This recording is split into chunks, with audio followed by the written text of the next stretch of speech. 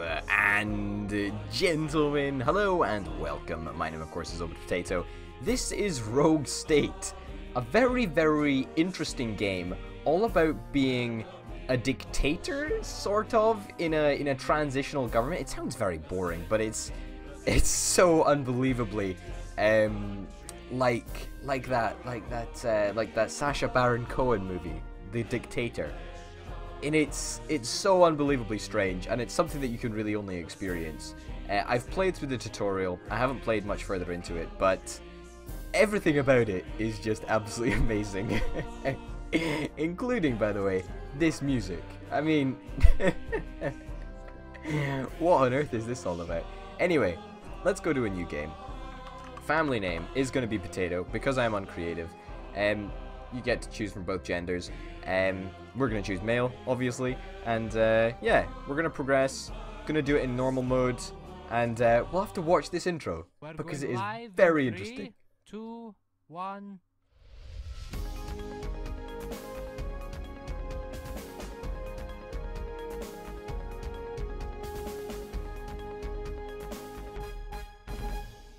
For those just joining us, we are fortunate to have an audience today with our glorious leader. Excellency, last week we experienced the conclusion of the trial of the tyrant King Solomon, with his execution scheduled for next Friday.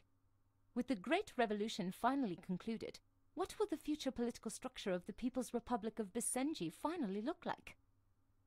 Well, Zara, King Salman was a corrupt and sadistic man. Under his rule, our people served while he sold away our most sacred objects to pay for his own luxuries. Hundreds of thousands of souls died under his tyranny, yet he was tolerated by the American imperialists. His death will give us closure, but our work is only just beginning. The People's Revolution is never really over. We must rebuild this country from the ashes, reform it. The Revolutionary Council has put me in charge of the transitional government for the next five years to maintain order while a new constitution is drafted. One that meets the needs of all the people. Many were expecting your brother Farouk would be named by the Revolutionary Council as the interim leader of Bisenji. What role will he have in the transitional government? Farouk is popular, to be certain, and was a fellow patriot of the Revolution. He will be given an appropriate role in my cabinet. It is often said that the Americans are suspicious of our transitional government and that you face a great deal of pressure from domestic interests seeking reforms. Our first priority is, of course, reconstruction. The American imperialists are of no concern at this time. Governance is not an easy task, but I assure the people that we will build a stronger Basenji together. Thank you again for your time, Excellency. It is a pleasure, Zara. There you have it. The intro scene, which I thought was unbelievably camp in some ways. Um, the dictator, or the guy, the guy that's in charge, you know, the guy that we're playing, he sounds very, very poncy, doesn't he? Maybe that's just me. Maybe that's just me. All right. Not that there's anything wrong with that, by the way. I just thought it was really funny. Um. All right. What have we got here? Well, we got a whole bunch of stuff. So we have got four people that we have to assign to cabinet portfolios. The problem is we've got Farouk, and Farouk is sort of like the bad apple because he wants he wants to be in my position. He wants to be the boss of uh, of Basenji. Is that how you say? It? I think it is Basenji or Basenji, whatever. Doesn't matter. So each different minister that we actually assign gives us a different bonus. As you can see here, finance minister boosts our treasury income by 3 million a turn. However, as finance minister, Farouk will funnel 5 million into his private accounts. So that is pretty darn shitty. Now the unfortunate thing is, we have to assign everybody. We can't leave um, we can't leave Farouk out because otherwise he would do something very, very naughty, and we need to keep him close, make sure that he doesn't uh, do anything rash and try to overthrow us, at least not yet. So I'm thinking, um, well, we need a finance minister. Beautiful. A defense minister. Uh, military loyalty. Yes, I think so. I don't think I care about intelligence breakthroughs that much. Hmm. I think we assign Farouk to be the intelligence minister. Because, let's face it, if he does that, he makes them 25% less likely. It's not like he's actually actively decreasing our approval ratings, which we'll talk about when we uh, when we get into things a little bit later on. Uh, we probably want to keep our military pretty close, uh, and foreign relations are all factions. I think we want all factions. Foreign minister, I can go without. Whatever, screw it. It's not a big deal. All right, this is what uh, this is what our cabinet's going to look like. Pretty happy about it. It's uh, it's pretty good. It's pretty good. All right, this is the game. Excellency, my name is Excellency. As parliamentary chief Oh man, what a great game. It is my duty to ensure that your instructions reach our parliamentarians.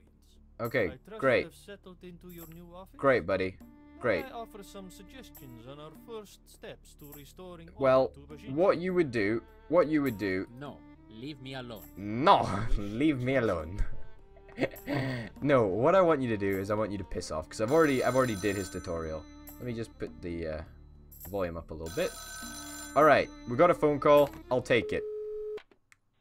Greetings, Your Excellency. I am Prime Greetings. Minister Amal Sarkos, and on behalf of Boetia, I wanted to be the first to welcome the liberation of the People's Republic Thank you, thank you, from the thank you, thanks. Very nice of you to say. The Salman regime was a threat to the, The whole region. Salman regime. That is why we provided your rebellion with weaponry and training necessary to overthrow the tyrant. Thank you, thank you. The transitional government has restored Bashinsi's infrastructure and industry. Let us work towards restoring our Thank trade you. relationship. Thank you, Do not thank you, thank you, Contact me if there is any way Boethia can be of assistance to you. thank you, for your call. Thank I am you. certain our two great nations will work together to bring I love his voice. I love our our voice. There is much work So to be good. done, but I am grateful for your country's support. Thank you. That's very very kind of you. Um, we'll discuss this later. But I must go. Let Apologies, but I must go. Uh, goodbye. Alright. Let's chill out. Let me sort of explain a little bit what is going on, alright? This is our bank. This is our, well, this is our treasury. This is how much money we've got in the bank, so to speak. This is how much we get per turn. Um, this is our parliamentary approval.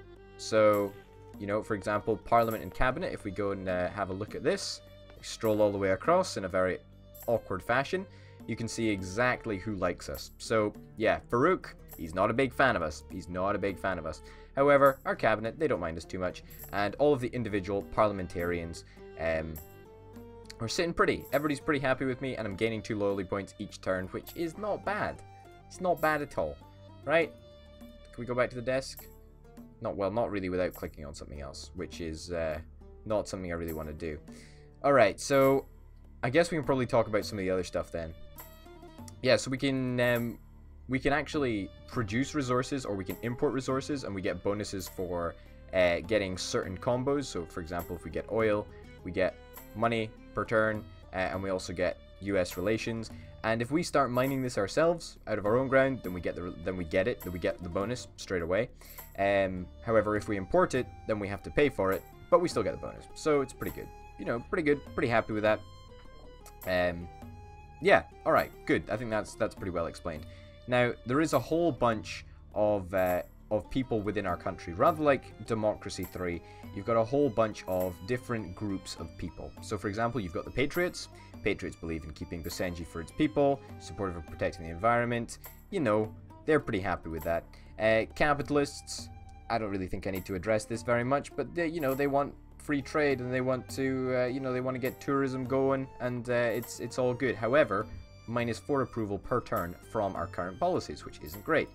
Fundamentalists. Fundamentalists believe in the old ways that are the best, and as the world changes around them, they hope to continue to incorporate faith into your decisions. Um, yeah, and these guys are, are moderately happy with us. And liberals, uh, the youth, they want equality, um, alleviate social ills, they want civil rights, civil liberties, human rights, all that sort of stuff. Uh, and you know they're not too unbelievably happy with us at this this current moment in time. Um, yeah, this this will all change as soon as we go to the next turn. By the way, um, this is a turn-based game, except it's slightly different because you can do four actions per turn. So each quarter is uh, is is like an action, and the actions are taken in a very very weird way that I will hopefully explain throughout um, throughout the game. So basically, if we go into a menu, for example, treasury and commodity data, uh, we can go into this menu, we can look at it, and that doesn't count as an action. However, if we change anything, uh, like I don't know, adjust the tax rate or whatever, which I think we should probably do because we want a little bit more money per turn, I think, uh, then that counts as an action. Yep, see, it's just gone to uh, to three actions left, to yellow. Alright, so Parliament Cabinet we've already looked at. Policies we can have a little look at right now. Boom, and this is the whole variety of, of, uh, of policies that we actually have access to. So, for example, uh, minimum wage. I think a minimum wage is probably something that we want to do. Maybe it would make the liberals happy with us, but it's going to make the capitalists very unhappy with us, so we need to bear that in mind. Um, patriots and fundamentalists don't give a shit about minimum wage. It's fair enough. Um, and you can see the effect that it actually has here. I mean, it's going to lose us jobs if we have a high minimum wage. So maybe we'll just leave it at a low minimum wage. We don't want to upset the capitalists too much. And uh, yeah, we don't really need to afford the liberals too, too much attention right now. Which is kind of nice. Uh, you know, you can see all the policies that the liberals are fans of right here. If I hover over them, you can see the policies that capitalists are fans of as well. Um, free trade zone. I think we actually do want to go for this free trade zone here.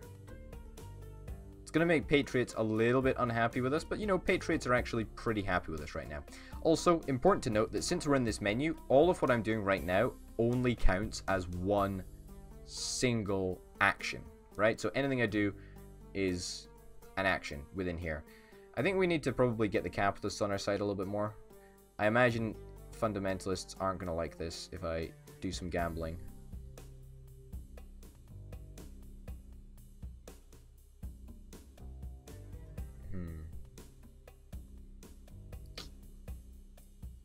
Let's keep it banned for now. What about this? Temporary foreign worker programs. Yeah, Patriots really aren't a fan of that. Well, let's adjust that a little bit so that we can we, we want to try and even this out all right like we don't want to make it so um oh, we want to union powers limited we want to try and keep things roughly balanced so that things don't get too crazy prayer week not practiced I think that's yeah that's gonna make capitalists a little bit less unhappy per turn which is kind of what we want this is capable law enforcement. This is a police budget. Okay.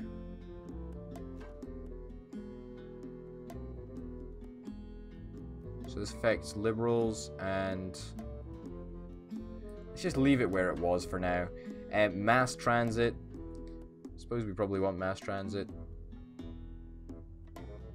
Mass transit I think is a good thing. However, it does cost a shit ton of money, which we should bear in mind. Let's let's knock it up a notch so that uh, people don't get too pissed off with us. And school funding, I guess. We should probably bump this up as well. Let's bump this up to uh, exceptional schools. This is going to give us an increased amount of GDP and UN relations. It's going to cost us a little bit of money, which I'm not super duper uh, happy about, I must say. But, you know, you do what you got to do. And most importantly, patriots are going to be happy with us. Only capitalists are going to be disappointed with us right? Which is kind of nice. I'd rather go for that, actually. Believe it or not. I'd rather go for that. You know, so we split we split the disapproval between the capitalists and the liberals. I feel that's a fairly fairly okay option. Alcohol policy that just upsets the fundamentalists. Yeah, that's fine. Let's leave it like this.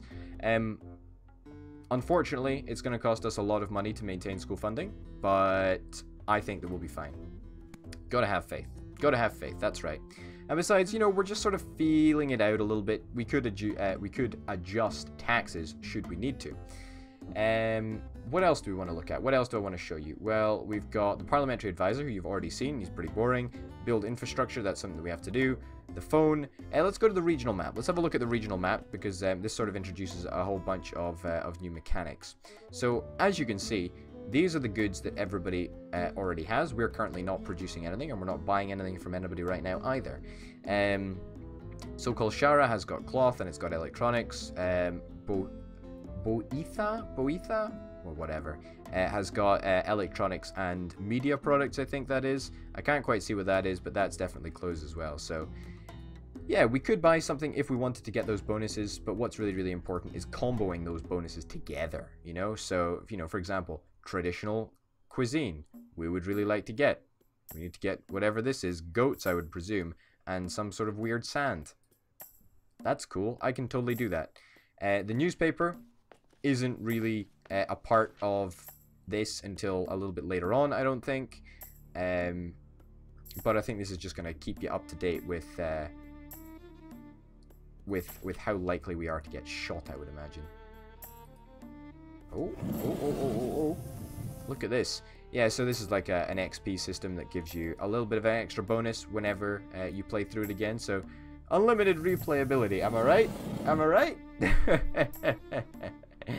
and then we've also got the Situation Room, which I haven't actually been to yet, but it's all to do with military, and I think it's it's going to be very, very interesting. We'll probably go to the Situation Room in the second episode because um, because why not? I think what we're going to do this time is uh, is build infrastructure. Let's splash out a little bit of money um, it's not going to cost us very much at all, so let's do it. So, restore water and sewage. This is really, really good because it's going to give us a 15% increase in tax revenue, and it's only going to cost us 10 mil. Easy peasy. Uh, allow foreign aid workers. Aid workers will arrive from non-governmental organizations and help manage labor shortages, provide humanitarian support, and assist with reconstruction of critical buildings and infrastructure. Cool. Now what we have to do as soon as this policy has been enacted, we need to choose what we want. Do we want to say medical workers will tend to your sick and wounded? Uh, and this will you know give us a little bit of, uh, of relief, financial relief for healthcare costs, uh, or do we want to say, hey, engin- we want engineers rather than we want doctors? I think we want engineers rather than we want doctors. Um, I will I will suffer through that. You know that's okay. That's on me, boys. That's on me. And uh, and finally, the rebuild the power infrastructure. It's another 15% uh, increase in tax revenue. I'll take it. Awesome. Sweet. That's damned good fingers crossed that our tax revenue is going to uh, increase enough to hopefully take us out of, out of losing money per term. But even if we don't, you know, we've still got 280 mil in the treasury, which is quite amazing for a country that has just been through a revolution. I'll, I'll have you know. Um, but yeah, we've got a whole bunch of stuff that we want to do and that we can do on turn two. We're probably going to try and beeline for all of this. I mean, this is obviously just the reconstruction phase. I don't know what's after this, but remember that we are part of this traditional, this traditional, uh, transitional government, and uh, and that involves transitioning um, from the current system to the future system, whatever that may be, and we can choose what that future system is, right? So that's really really cool. I like that a lot. Um, but yeah. All right. Can we not go to our overall popularity? Is that not something that we can do, apparently? Okay. Cool, because we could do it. We could. Let's go to the treasury uh, and commodity data right now. Sweet. Alright, this is good. How much is our healthcare policy? How much is our healthcare costing us? Yeah, so we could have saved 3 million on that, but, you know, thanks to our increases, we're not actually going to lose any money per turn, which is really, really nice. Um, we can check the prices of commodities, which is pretty cool oil being at the top, as you would expect. You know, crazy, crazy. Alright, so what we can do is we can also discreetly funnel money from the National Treasury into your offshore bank account. All deposits are charged 20% commission for money laundering services. Money can be withdrawn from this account and moved into the Treasury at any time. Having a large balance in this account at the end of the game will increase your final score, earning you XP that can be used to unlock additional gameplay mo modes.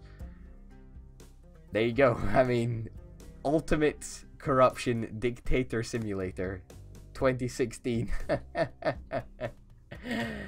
but yeah, this is this is really really awesome, and um, yeah, uh, we can skip through the the end of the turn just for the sake of it. All right. A Chinese biotechnology firm has been banned from operating in China due to unethical practices. They're seeking to invest in a large research facility in Basenji due to our open financial system. Hmm. Should we get 3 million per turn? I mean, that's pretty good. It's pretty good. I think we'll take it. 3 million per turn is nothing to sniff at. Let's take it. Beautiful. Perfect. What is this? Request that you increase the treasury growth rate to 19 per turn within the next 5 months. Wow. You're a bit demanding, but, you know, we're working on it. We're working on it. We're getting there, and it's going to be awesome. Ladies and gents, that's where this episode is going to finish up. I'm loving it. I hope you're loving it too, because I think this is going to be really, really great. I really, really do. Absolute highlight, without a doubt. Ladies and gentlemen, thank you very, very much for watching. My name, of course, has been Orbital Potato. This has been Rogue State. Until next time, bye.